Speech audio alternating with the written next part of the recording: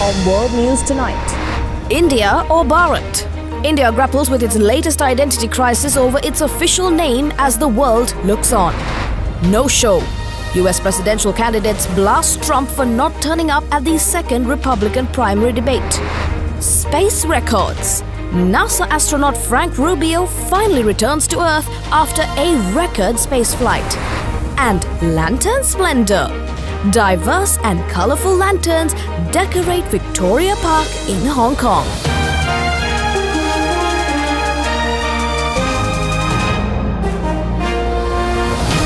This is Ada Derana World News Tonight. Reporting from Colombo, here is Anuradhi Vikramasinghe. A very good evening and thank you for joining us on World News this Thursday night. Tonight as well, we begin in India. When Narendra Modi opened the G20 in New Delhi, the world witnessed the Indian Prime Minister introducing himself not as the Prime Minister of India but as the Prime Minister of Bharat. Some speculate this could foreshadow an official name change for the country, with supporters of the move arguing that the name India is a legacy of a colonial past, but opponents fearing it is merely aimed at furthering Modi's Hindu nationalist agenda. It's the latest controversy to hit the country. The government might change the name of the nation to Bharat, a Hindi word for India. Both the names are mentioned in the constitution, but it's India that's more commonly used. People have a mixed reaction to the proposal. Bharat summarizes the big uh, history of our country, which is like more into the Hinduism. They've created a proper diversion. Now, when you ask anyone, they'll be just talking about the changing of the name. No one will remember the objective is to fight against unemployment. This controversy started during the G20 summit in early September when the dinner invitation sent from the president's office to the world leaders read President of Bharat. Also during Prime Minister's speech, the nameplate in front of him read Bharat as the country name. According to this historian, the Hindu nationalist government wants to get rid of the colonial legacy, even when the name was in use much before the British came to India. Where it suits the narrative, the idea of decolonization is being brought in, but where it doesn't suit the narrative, you're willing to keep idea that came up during colonial times. In the name of history, uh, it is actually the politics of our times that is um, uh, that is playing out. But the opposition parties believe the sudden push for using a Hindi name by Narendra Modi is to exert his Hindu extremist agenda, which can benefit him in next year's general election. Bharat and India were used interchangeably. What they have done is kind of brought it to a level where one is in conflict with another. They want to own that religion, they want to turn it into something called Hindutva and give it certain kind of ideology, certain orthodoxy. We contacted the ruling party, the BJP, for comments. They refused to talk to us on camera. But they confirmed that there are no plans to officially change India's name to Bharat. More than a third of the 120,000 ethnic Armenians living in Nagorno-Karabakh has fled the region as part of an exodus triggered by a military offensive which brought the enclave under Azerbaijan's control.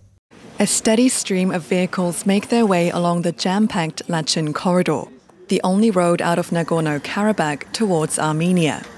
These tens of thousands of refugees face an uncertain future after Azerbaijan reclaimed full control of the breakaway separatist region in a lightning offensive last week. I would like to return to Nagorno Karabakh. I feel that after all these years, if we close the gap a little bit, we could find a common understanding. It was tough there, but it was our land for generations, Armenian land. And now we're here, homeless. It's a long and mountainous journey. This family fled with just the basic necessities, settling here in a motel in the Armenian town of Goris. Ruzana lost her husband in the conflict between Armenia and Azerbaijan three years ago. She says she couldn't risk staying in Nagorno Karabakh for her children's safety. There's no way to break us down because we are a strong, proud nation. We can barely accept that we're going through difficulties, but we couldn't sacrifice our children's lives. More than a third of the enclave's population have already fled. in one of the biggest movements of people in the region since the fall of the Soviet Union.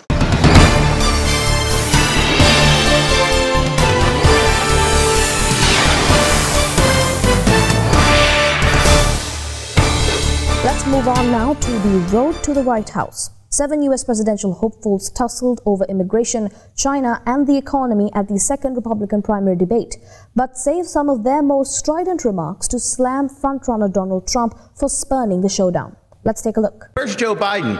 He's completely missing in action from leadership. And you know who else is missing in action? Donald Trump is missing in action. He should be on this stage tonight. He owes it to you to defend his record where they added 7.8 trillion to the debt. And I want to look in that camera right now and tell you, Donald, I know you're watching. You can't help yourself. I know you're watching. Okay? And you're not here tonight not because of polls and not because of your indictments. You're not here tonight because you're afraid of being on the stage and defending your record. You're ducking these things. And let me tell you what's going to happen. You keep doing that, no one up here is going to call you Donald Trump anymore. We're going to call you Donald Duck. I think Trump was an excellent president, but the America First agenda does not belong to one man. It does not belong to Donald Trump. It doesn't belong to me. It belongs to you.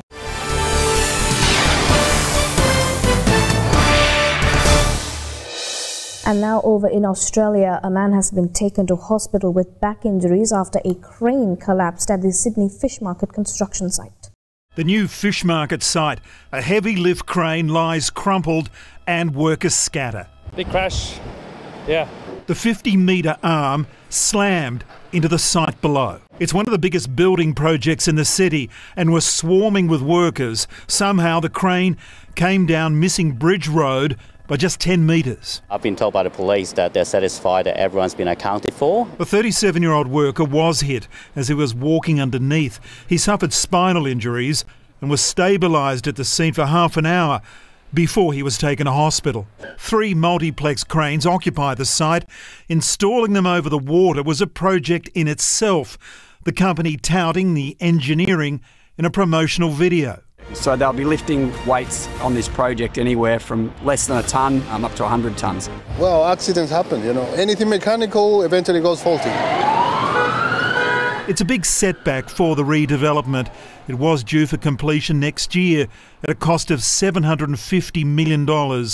Now the buckled crane will have to be removed and a new one erected.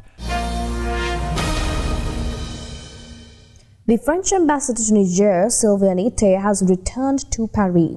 The return of the ambassador comes two months after a coup in Niger ousted its pro-Paris president and prompted a souring in relations between France and its former colony. More than a month after the military junta ordered his expulsion, the French ambassador to Niger has finally left the country. Sylvain Itté, along with six colleagues, first took a plane to Chad Wednesday morning before they were due to carry on to Paris.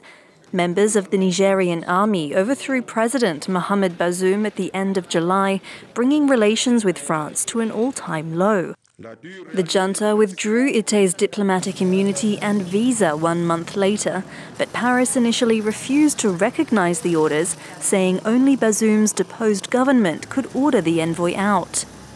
On Sunday, Emmanuel Macron told French media the ambassador would leave within hours and 1,500 French troops would withdraw from Niger by the end of the year. An announcement welcomed on the streets of Niamey. The French military must leave immediately because we really don't need them. We don't need them. They've been saying they'd help us for decades, but we haven't seen any change. So we don't want their help. All the French have to do is leave. That's enough, thank you. They can keep everything they have, but we have nothing to do with them anymore. Niger isn't the only former French colony now turning on Paris.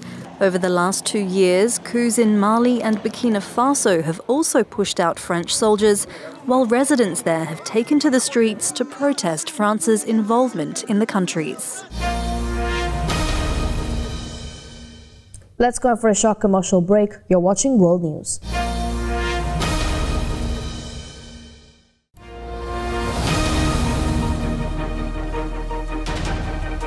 Welcome back. Now, just as the migrant dilemma over at the US Mexico border escalates, the Mexican President Andres Obrador called for a meeting of foreign ministers around Latin America to discuss migration, as record numbers of people make the dangerous crossing through the Darien Gap. Mexican President Andres Manuel Lopez Obrador on Wednesday called for a regional meeting to discuss migration, as a record number of people tried the dangerous crossing through the Darien Gap.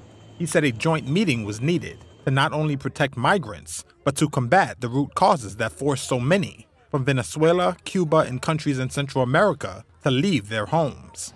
Y que nosotros tenemos que cuidarlos. Almost all of them pass through Mexico, and we must take care of migrants and protect them, but we must avoid an increase of the migrant flux because there are risks. Obrador said the meeting would take place in approximately 10 days with the foreign ministers of 10 Latin American countries. On Tuesday, the Mexican government's migration authority said it had deployed over 260 buses and vans to disperse over 8,000 migrants from the southern city of Tapachula, near the border with Guatemala, to other parts of the country.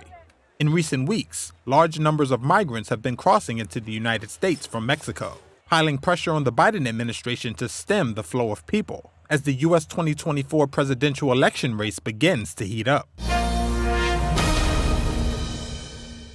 Now, a United States soldier who was detained after crossing into North Korea two months ago is back in American custody after Pyongyang said Travis King would be deported. The United States has secured the return of Private Travis King from the Democratic People's Republic of Korea. The U.S. soldier who illegally crossed the border into North Korea is in U.S. custody. Private Travis King made a sudden dash into the North in July. U.S. officials told reporters he appeared to be in good health and spirits and was very happy to be on his way home. The Swedish government retrieved King in North Korea and brought him over the border into China, where he was taken into U.S. custody. State Department spokesperson Matthew Miller. I would not want to speculate on any motivations uh, on the North Korean side, and I don't know that I would uh, would would uh, would take from this that it heralds some breakthrough in diplomatic relations. Obviously, we're um, uh, pleased to have secured his return. We're very thankful for the government of Sweden for their work as the protecting power that they did to help um, uh, facilitate his transfer um, uh, back to the United States. At the time of his border crossing, King had been transported by the U.S. military to the airport to return to his home unit in the United States. Instead, he left the airport and joined a tour of the joint security area on the heavily fortified border between North and South Korea, where he ran across despite attempts by South Korean and U.S. guards to stop him. His shocking case triggered heated discussions within the U.S. government, but Washington declined to declare him a prisoner of war. Instead, North Korea appears to have treated his case like one of illegal immigration. Pyongyang has said he was seeking refuge due to racial discrimination within the U.S. Army. A spokesperson for King's mother expressed her gratitude to the Army for securing her son's release. A U.S. official declined to answer directly whether King would face a court martial. Now, over in South Africa, an analysis of company data has shown that South African state utility Eskom has been reversing a decline in emissions of particulate matter as it pushed aging coal-fired facilities to their limits amid a power crisis. South Africa's Eskom has been polluting more as it pushes aging coal-fired facilities to their limits amid a power crisis. That's according to an analysis of the state utilities data. It showed that four out of its 15 power plants are breaching government emissions regulations designed to protect people's health. Eskom officials have confirmed the violations but said making the plants compliant would take time. They also said it could undermine efforts to address South Africa's worst power crisis on record. For the past 18 months, daily scheduled blackouts have left most South Africans without power for up to 10 hours a day. Some 80% of South Africa's electricity is generated from burning coal. But over the past four decades, Eskom has achieved a 75% reduction in emissions of particulate matter. That's largely ash and soot through a program of plant upgrades. Now that trend is being reversed. With power cuts expected to knock two percentage points off economic growth this year, Eskom's senior environment manager Deidre Herbst said plants were having to be run harder with upgrades delayed. There is sometimes a trade off made, she said. Company wide, Eskom's particulate emissions last year were at their worst levels since the early 1990s, according to an internal Eskom presentation. The four plants breaching regulations, Matimba, Matla, Kendal, and Kriel, account for more than a third of Eskom's total capacity. But two were emitting more than double the permitted limit of particulate matter in February, the most recent month of available data. The 35 year old Kendal power station emitted an average of between 10 and 30 times the permissible limit.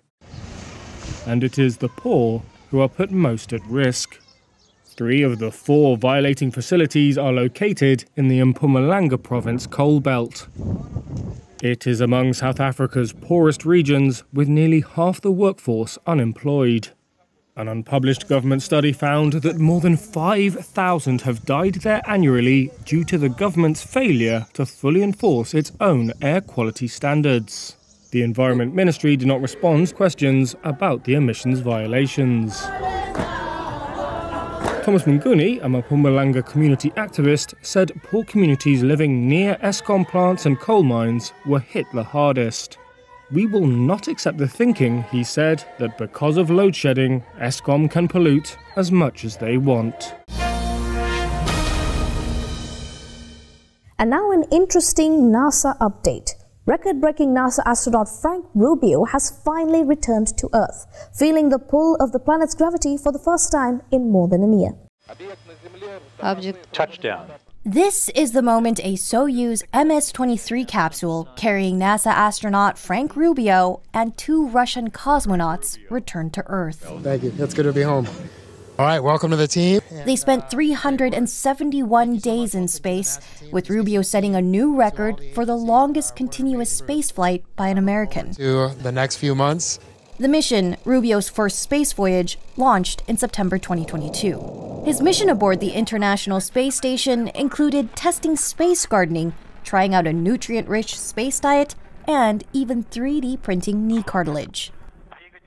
His return, together with Russian cosmonauts Sergei Prokopyev and Dmitry Petelin, comes six months late because their original spacecraft sprang a leak, so a replacement had to be sent up to get them back. And uh, on September 11, 2023, Rubio broke the previous NASA record of 355 consecutive days in space, set by now retired U.S. astronaut Mark Vande Hei. But Rubio is far from the world record held by Russian Valery Polyakov. He made the longest space journey ever 437 consecutive days and 18 hours between January 1994 and March 1995.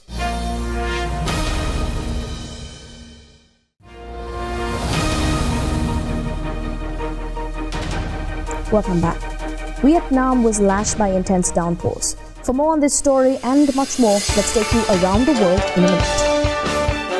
Heavy rain from a tropical depression hit northern and north central Vietnam. It caused flooding and halted traffic in the capital Hanoi and sparked warnings of landslides. Low river levels and hotter waters in Brazil's Amazon region have killed masses of fish. The dead fish were seen floating on river surfaces, contaminating the drinking water. Uzbekistan authorities stated that one person was killed and 162 were injured by a powerful explosion at a warehouse near Tashkent's airport. Israel reopened crossing points with Gaza, allowing thousands of Palestinian workers to get their jobs in Israel and the West Bank. Horrified families in Bolivian city of El Alto exhumed the remains of their loved ones at a local cemetery. They've been exhumed after several graves have been demolished.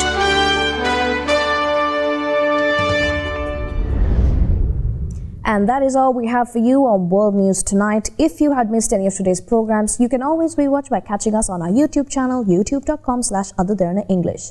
We're leaving you tonight in Hong Kong as indigenous designed lanterns create a festive atmosphere as the Mid-Autumn Festival approaches. Thank you for watching.